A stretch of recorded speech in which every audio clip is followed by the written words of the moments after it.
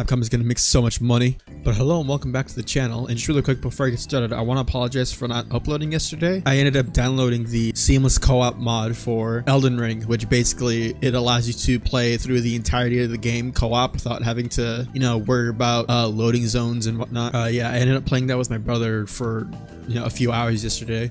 And by the time we stopped I, uh, I didn't have time to make my video because I had to go to work the next day. So yeah I recorded a bunch of like basically our entire play session though. So I'm probably gonna make a video on that at some point. Although it is a uh, lot of footage so it's gonna take me a while to edit that. So that probably won't come out until next week maybe. But yeah i'm just here playing uh, halo infinite. I was gonna play modern warfare but i mean i don't know. I, i'm kind of getting sick of looking at shipment despite the fact it's like one of the more fun maps to play in the game just because it's so small. But uh, just playing on these other maps and when there's only 12 people in a game is like there's so many it's so slow and boring. Oh my god. It's crazy too because i was watching jev's video that he uploaded yesterday by the time this goes up and uh, he was playing cold war and I didn't know this, but I guess because the game is old, they just have a bunch of the playlists just selectable in the game at all times. And uh, one of the playlists in that game is uh, 12v12. I think Modern Warfare 2 had an 8v8 playlist at some point, but man, what I would kill for a 12v12 playlist to just be constant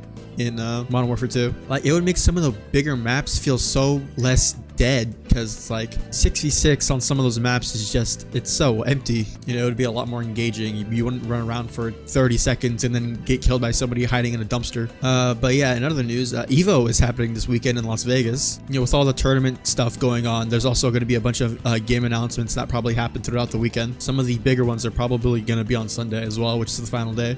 So for street fighter 6 they announced new costumes for four of the characters. They announced a costume for guile marisa Juri, and Dee Jay, and they all look really cool. But uh, on the internet, especially Twitter, people are like super excited for Juri and Marisa's. Marisa's costume is from her arcade mode. It's a piece of artwork that you can see. Uh, it's basically her in like her wedding dress. It looks super cool.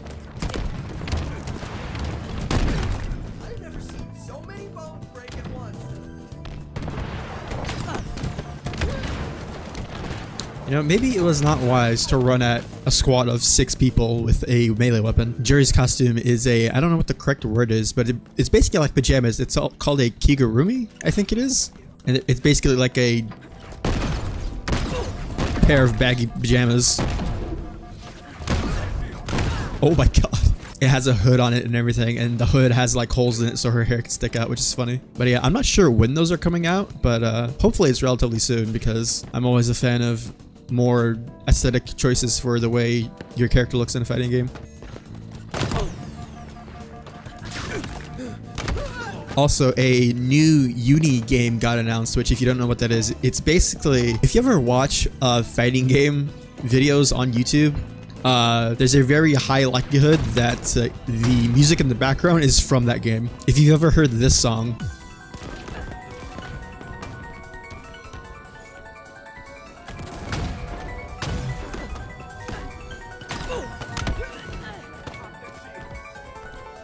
then uh, yeah, that's from the Uni game. And uh, that series is mostly known for having uh, this really weird naming convention that I'm not even going to try to explain because I don't even fully understand it. But but yeah, a new game for uh, that series got announced, which is super cool because that game is not super popular, but I mean, from what I hear about it, it's very uh, well regarded in terms of the uh, people who play it.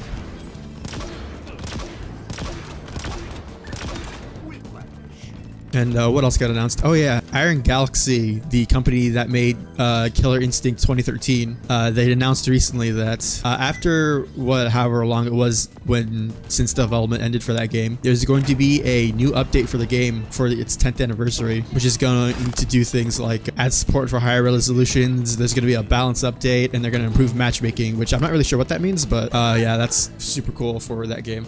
I never really got into that game because that was uh, a time where I wasn't super into fighting games. But yeah, that game is super well regarded, not only for its gameplay, but also for its like online functionality.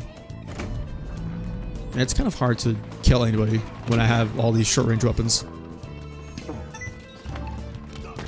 It's crazy that a game that came out 10 years ago is getting updates still.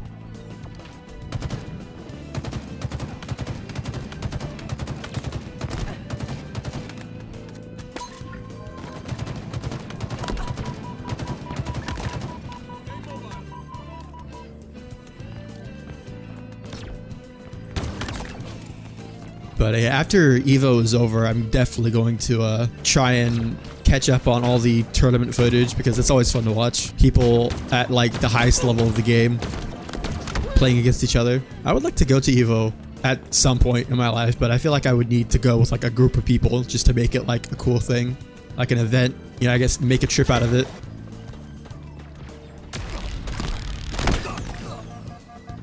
I think ArcSys, they tease, ArcSys teases this, um, but for season 3 of Guilty Gear Strive, there's going to be a update that adds new special moves to some of the characters, which I feel like is not something that happens super often.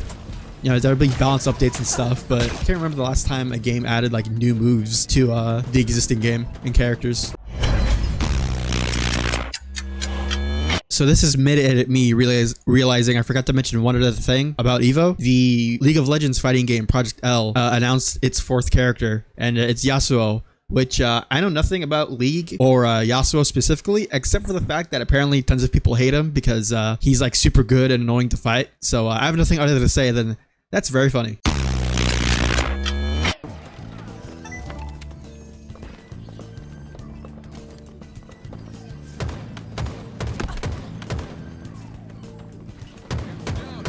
I literally did all the damage to that guy and I didn't get the kill. That's so upsetting.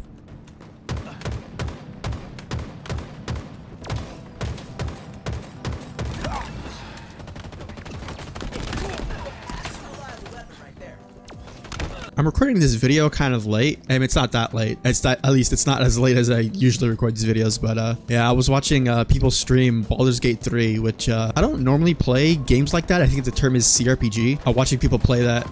And uh, I know the studio Larian, uh, they made Divinity, Original Sin 1 and 2, and Pillars of Eternity. I just killed myself. Oh my god.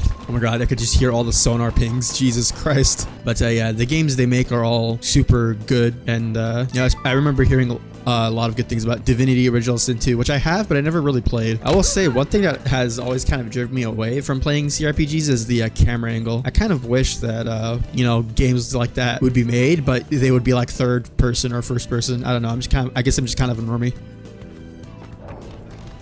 What is this?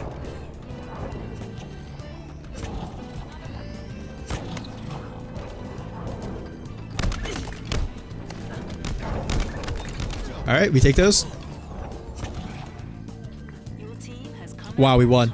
How did they let us do that to them? But uh, yeah, I think Baldur's Gate 3, at some point I'm going to buy it and play it. And uh, yeah, I'll probably, that'll be the game that I give the biggest shot to because I played Divinity Original Sin 2 a little bit, but I didn't really get into it. I feel like my brain is too small to understand the minutia of like the stat intensive mechanics and whatnot but i don't know. Apparently uh Baldur's Gate 3 is very like new player friendly so yeah i definitely i'm a huge fan of like rpgs where you can like make your characters and you know get immersed in a world and a story so yeah i definitely want to play that at some point. But uh, yeah as you can tell i'm not super uh, i'm still kind of rusty playing halo you know i play it every now and again and every time i do it feels like i'm playing the game for the first time but uh, nevertheless uh, i think that's gonna do it for me for today. I just wanted to make a quick video you know, just to make sure people don't think I'm dead or anything. Also, I need to stream World at War again at some point. I played it the other day on stream, but uh, I had to stop to go do something. So yeah, at some point, I'm going to try and stream that again. It might be this some point this weekend. So yeah, just keep on the lookout for that.